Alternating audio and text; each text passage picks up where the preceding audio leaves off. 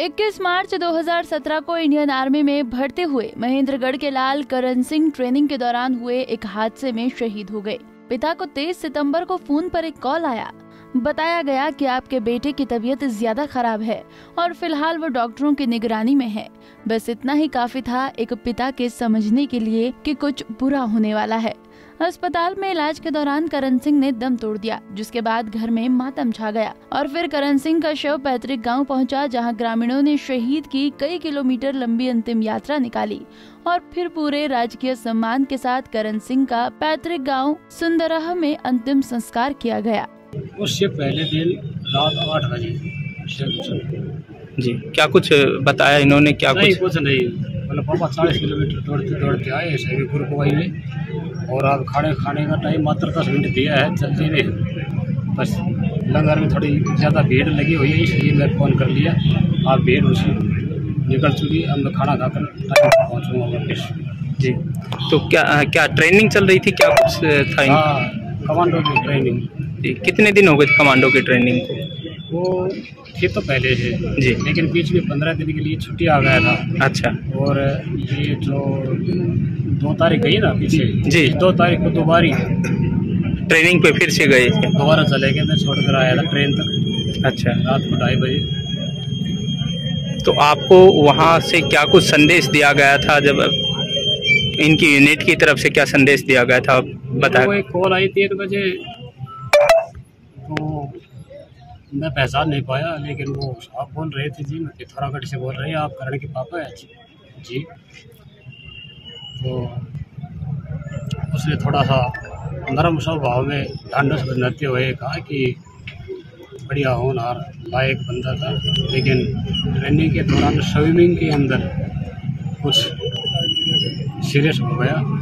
Doctor इलाज कर रहे हैं, हो सकता है दोबारा हम बात करवा भी थे लेकिन तो फिर आ, जो है आपकी बातचीत हुई थी उस समय बिल्कुल ठीक थे वो किसी प्रकार की कोई दिक्कत नहीं थी? हाँ शहीद करण सिंह रानीखेत कुमाऊं रेजिमेंट में 21 मार्च 2017 को भर्ती हुए थे जिनकी शादी 25 नवंबर 2020 को हुई थी। शहीद करण सिंह महाराष्ट्र के बेलगांव में तैराकी कमांडो की ट्रेनिंग कर रहे थे। शहीद का पार्थिव शरीर शनिवार शाम को हवाई माध्यम से दिल्ली लाया गया। रात्रि को सेना अस्पताल में रखकर कल रविवार को उनका पार्थिव शरीर पैतृक गाँव सुंदरहा में लाया गया था। परिजनों के मुताबिक शहीद करण कुछ दिन पहले ही पंद्रह दिन की छुट्टी पर घर आए थे। उन्होंने बताया था कि ट्रेनिंग अच्छी चल रही है। ऐसे में शहीद का परिवार अब सरकार से मांग कर रहा है कि गाँव में राजकीय विद्यालयों को करण सिंह का नाम दिया जाए। ये कमांडो कोर्स बेलगांव में थे। इसके जम ये पानी में स्विमिंग में जम करने की वजह से इनकी इनकी डेथ हो गई।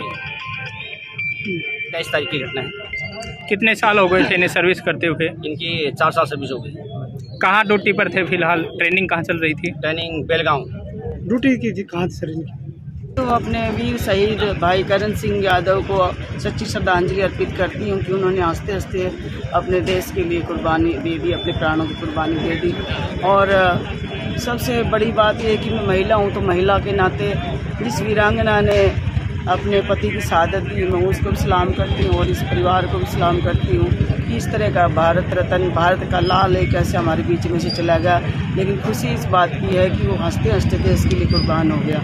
वैसे तो एक ही प्रेरणा भी है आज के युवाओं के लिए भी प्रेरणा हमारे लिए भी प्रेरणा है कि हम एक अच्छे भाव से देश सेवा के लिए अगर निकलते हैं तो हमारा इलाका ही नहीं इन्होंने इलाके का तो नाम किया ही है करण सिंह ने गौरवान्वित लेकिन मैं तो कहूँगी देश का देश के लिए शहीद हुआ है तो देश का नाम इसमें सबसे अग्रणी पंक्ति में लिखा जाएगा कितनी चौबीस साल की उम्र में न्यूली मैरिड बच्चा जो आज शादी करके गया था उन, उनको आज ऐसे होना पड़ा इलाके में रोज़ तो है ही है पर मेरी एक इलेक्टेड होने के नाते एक्स एम होने के नाते, मैं सरकार से मांग करूँगी कि जो भी हरियाणा गवर्नमेंट की भी, जो जो भी शहीद के प्रति हमारे यहाँ पे जितने भी वो बनते हैं जितने भी सुविधाएँ बनती हैं शहीद परिवार के लिए, विशेष तौर पर स्कूल का नाम ही सबसे पहले आना। फ़िलहाल करण सिंह के गाँव का माहौल गमगीन ज़रूर है, मगर परिवार को शहीद की शहादत पर गर्व भी है। मगर यूँ अचानक चले जाने के बाद करण की पत्नी और बाकी लोग आहत हैं।